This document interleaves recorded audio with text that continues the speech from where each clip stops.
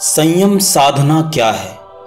आध्यात्मिक जीवन को प्राप्त करने की सबसे पहली और सर्वप्रधान शर्त यही है कि आपको अपने इंद्रियों पर संयम रखना है। इंद्रियों पर संयम रखना ही संयम साधना है। भारतवर्ष का योग संसार भर में एक अद्वितीय साधन प्रणाली माना गया है। शास्त्रों के अनुसार तो योग संसार की सबसे बड़ी शक्ति है और इसके द्वारा मनुष्य के लिए कोई भी कार्य असंभव नहीं रहता। आज के युग में आपने अनेक योगियों के आश्चर्यजनक चमत्कार देखे होंगे। अब भी योगी एक एक महीने तक की समाधि लगाते हैं, दिव्य दृष्टि का परिचय देते हैं, शस्त्र, विष आदि के प्रभाव को व्यर्थ करते देखे गए हैं। उनके आशीर्वाद और शाप का प्रभाव भी कभी कभी स्पष्ट रूप में दिखाई पड़ता है। पर ये सब बातें प्राचीन योगियों के शक्ति के सम्मुख नगण्य ही मानी जानी चाहिए। जानते हैं उन योगियों ने इन शक्तियों को कैसे प्राप्त किया? संयम साधना विधि के द्वारा। तो चलिए विस्तार से जानते हैं संयम साधना विधि क्या है। संयम साधना का अर्थ है इंद्रियों का विषयों तक जाने से रोकना। इंद्रियाँ विषयों की तरफ़ भागती ही रहती हैं। अगर आप किसी रास्ते से गुजर रहे हैं तो आपको सुंदर भवन दिखाई पड़ सकता है, सुंदर चेहरा दिखाई पड़ सकता है, सुंदर काया दिखाई पड़ सकती है, सुंदर कार दिखाई पड़ सकती है। आपको पता ही नहीं चलता कि जब आपने कहा, सुंदर है, तभी इंद्रियाँ दौड़ चुकी थी। ऐसा नहीं कि सुंदर है, ऐसा जानने के बाद इंद्रियाँ दौड़ना शुरू करती हैं। इंद्रियाँ दौड़ चुकी होती हैं। दौड़ी हुई इंद्रियों का निष्कर्ष ही सुंदर है। ऐसा मत सोचना कि आप सुंदर चेहरा देखकर आकर्षित होते हैं। आप आकर्षित होते हैं, इसलिए चेहरा सुंदर दिखाई पड़ता है। आकर्षण की घटना सूक्ष्म है और बड़े अदृश्य में घट जाती है। सौंदर्य की घटना सूक्ष्म नहीं है और विचार में पता चलती है। सुंदर हमारी निष्पत्ति है। कारण नहीं, सुंदर की वजह से कोई आकर्षित नहीं होता। आकर्षित होने की वजह से सुंदर का निष्कर्ष लेता है। यह हमारा बौद्धिक निष्कर्ष है। इंद्रियों ने तो अनुभव किया है आकर्षण का, बुद्धि ने निर्णय लिया है सुंदर होने का। इंद्रियाँ पहुँच चुकी हैं, इंद्रियों ने स्पर्श कर लिया है। इंद्रियों की गति अति सूक्ष्म है। ऐसा नहीं कि जब आप किसी के शरीर को छूते हैं, तभी इंद्रियाँ छूती हैं। इंद्रियों के छूने के अलग अलग मार्ग हैं। आँख देखती है और छू लेती है। देखना आँख के छूने का ढंग है, सुनना कान के छूने का ढंग है। स्पर्श हाथ के छूने का ढंग है। ये सब छूने के ढंग हैं। सब इंद्रियाँ छूती हैं। इंद्रिय का अर्थ है एक प्रकार की स्पर्श की व्यवस्था। या यूँ कहें कि एक प्रकार का उपकरण। सब इंद्रियाँ स्पर्श करती हैं। सूक्ष्म स्पर्श दूर से हो जाते हैं। स्थूल स्पर्श पास से करने पड़ते हैं। देखिए, शरीर से सबको नहीं छुआ जा सकता, लेकिन एक परफ्यूम डालकर बड़े सूक्ष्म तल पर गंध से सबको छुआ जा सकता है। आवाज़, गंध, ध्वनि, दृश्य, दर्शन, वे सब छूते हैं। जब आप सज समर कर घर से निकलते हैं तो आप दूसरों की आँखों से छुए जाने का निमंत्रण लेकर निकलते हैं। और अगर कोई आँख से ना छुए तो आप बड़े उदास लौटते हैं। यानी आप यह चाहते हैं कि आपने जो यह सजा समरा है, आपने जो ये तरह तरह की साड़ियाँ, ये तरह तरह की ज्वेलरी पहनी है, लोग उन्हें देखें, उससे आपकी तरफ़ अट्रैक्ट हों। आप लोगों को निमंत्रण दे रहे हैं कि वो आपको देखें। और यदि ऐसा नहीं होता तो आप उदास हो जाते हैं। यह दोहरा काम चल रहा है, छूने का और छुए जाने का। इंद्रियाँ प्रतिपल इस काम में संलग्न हैं। आपको पता भी नहीं चलता कि यह हो रहा है। इंद्रियाँ पूरे समय स्पर्श को लालायित और स्पर्श देने को आतुर होती हैं। तो जिन व्यक्तियों को, इंद्रियों को विषयों तक जाने से रोकना है, उसे इंद्रियों की इस सूक्ष्म स्पर्श व्यवस्था के प्रति जागरूक होना पड़ेगा। यह अत्यंत सूक्ष्म व्यवस्था है। आपको पता चलने के पहले ही घटित हो जाता है।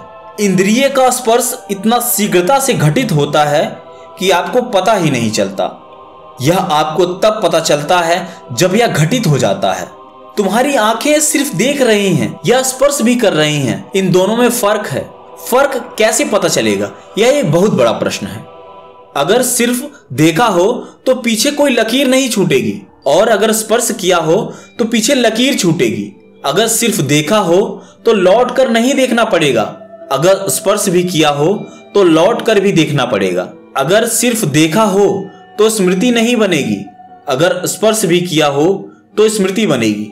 अगर सिर्फ़ देखा हो तो कल भी देखूँ, ऐसी आकांक्षा नहीं जगेगी। अगर स्पर्श किया हो तो फिर फिर देखूँ, ऐसी आकांक्षा जगेगी।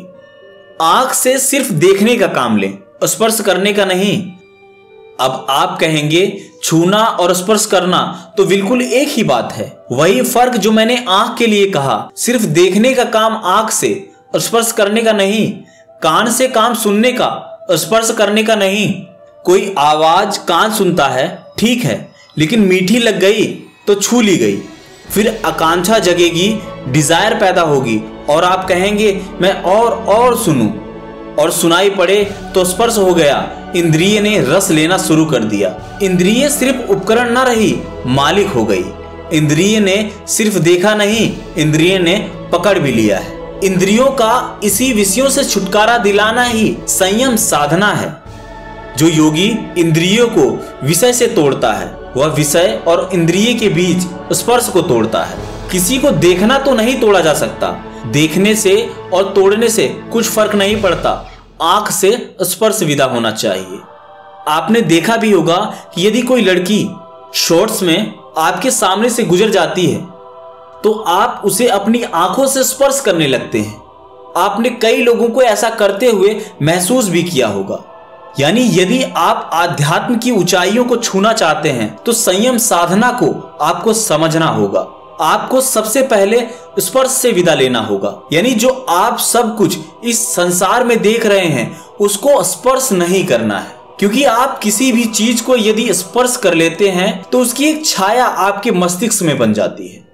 आप जब भी देखें, तब होश से यह भी देखें कि स्पर्श हो रहा है कि नहीं। आप यह देखें कि आप सिर्फ़ देख रहे हैं या स्पर्श भी कर रहे हैं। धीरे धीरे फासला साफ़ दिखाई पड़ने लगेगा और साफ़ दिखाई पड़ने से मैंने स्पर्श किया है, यह आपको महसूस हो जाएगा। और जब आपको स्पर्श दिखाई पड़ने लगेगा तभी आपको अनुभव हो जाएगा कि इंद्रिया जहाँ जहाँ स्पर्श करती हैं वहीं वहीं बंधन को निर्मित करती हैं। जहाँ जहाँ स्पर्श नहीं करती वहाँ वहाँ बंधन निर्मित नहीं होता।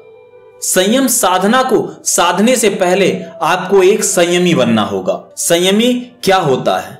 संयमी का अर्थ है जो इंद्रियों से उपकरण का काम लेता है। भोग का नहीं।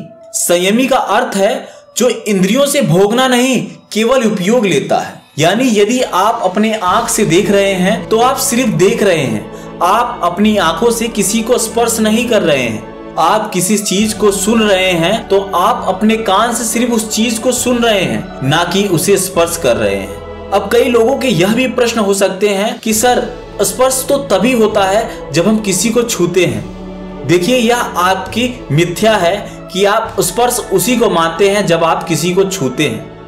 आपने जब किसी स्त्री को देखा और आपने अपने अंदर यह धारणा बनाई कि यह स्त्री कितनी सुंदर है, कितनी कामुक है, तभी आपने उस स्त्री को स्पर्श कर लिया। भले ही आपने उसे छुआ ना हो, फिर भी आपने उस स्त्री को स्पर्श कर लिया। यानी संयमी का अर्थ हुआ, जो इंद्रियों से भोगता नहीं, केवल उपयोग लेता है। एक व्यक्ति ऐसा भी होता है, जो असंयमी होता है। उसका अर्थ है, जो इंद्रियों से उपयोग कम लेता है, लेकिन इंद्रियों से भोगता ज़्यादा है। ऐसे ही लोग समाज में विदंडता करते हैं। समाज में हो रही गलत चीज़ों के प्रति सहानुभूति दिखाता है। वह अपनी आँखों से ही इतना भोग विलास कर लेता है कि उसे स्पर्श करने की आवश्यकता ही नहीं है। आपने देखा भी होगा कि आपके समाज में कुछ लोग ऐसे भी होंगे जिनके बारे में यह कहा जाता है कि इस व्यक्ति की नज़र खराब है, क्योंकि उसने अपनी आँखों से ही उस चीज़ को स्पर्श कर लिया है, जो वह छू कर स्पर्श नहीं कर पा रहा था। आँख से भोगना, स्पर्श करना उपयोग नहीं है, भोग है। भोग बंधन है, उपयोग बंधन नहीं है। इसीलिए तो कहा जाता है कि यदि आपने किसी वस्तु का भोग कर लिया है तो अब भोग बंधन है। जबकि अगर उस वस्तु का आपने उपयोग किया है तो उपयोग बंधन नहीं है। आपने कोई चीज़ खाई और उसके स्वाद को मन में बिठा लिया, अर्थात आपने उस वस्तु का भोग कर लिया। आपकी बार बार इच्छा होगी कि आप उस वस्तु का भोग करें। लेकिन यदि आपने उस वस्तु का भोग सिर्फ़ अपनी भूख मिटाने के लिए किया है तो आपको उसके बारे में बार बार सोचने की आवश्यकता ना पड़ेगी। तो इस स्पर्श की सूक्ष्म व्यवस्था को स्मरण रखने मात्र से आप संयम साधना में उतरने लगते हैं। और जब आप अपने पर संयम कर लेते हैं तो आपका आध्यात्म वैसे ही सफल होने लगता है। देखिए, बहुत से लोग ये कहते हैं कि मैं दमन द्वारा संयम कर लूँगा। देखिए, सप्रेशन संयम नहीं है और ना ही दमन संयम है। संयम तो जागरण है। होश में आना ही संयम है। रिमेम्बरिंग ही संयम है। स्मृति ही संयम है। इसको प्रयोग करके आप देख सकते हैं। जब भी आप संयम का प्रयोग करेंगे, तब आप समझ पाएँगे कि संयम की शक्ति कितनी है और यह आध्यात्म की दुनिया में कितनी आवश्यक है। बस फ़र्क यह होना चाहिए कि संयम दमन द्वारा ना हुआ हो। यह आपके मन की स्वाभाविक घटना है। अगर आप यह करते हैं तो आपको संयम की पहली घटना घट जाएगी। अर्थात विषयों तक इंद्रियों का रस तिरोहित हो जाता है। विषय तक इंद्रियाँ जाती हैं उपयोग के लिए, भोग के लिए नहीं। तो आशा करता हूँ, संयम साधना विधि के बारे में आपको जानकर अच्छा लगा होगा। वीडियो पसंद आया है तो लाइक करें, शेयर करें। चैनल पर पहली बार हैं तो चैनल को सब्सक्राइब करना मत भूलिएगा। आपके अगर कोई भी क्वेश्चंस हैं तो नीचे कमेंट सेक्शन में अवश्य पूछिएगा। मिलता हूँ किसी और वीडियो में किसी और नई विधि, नई जानकारी के साथ।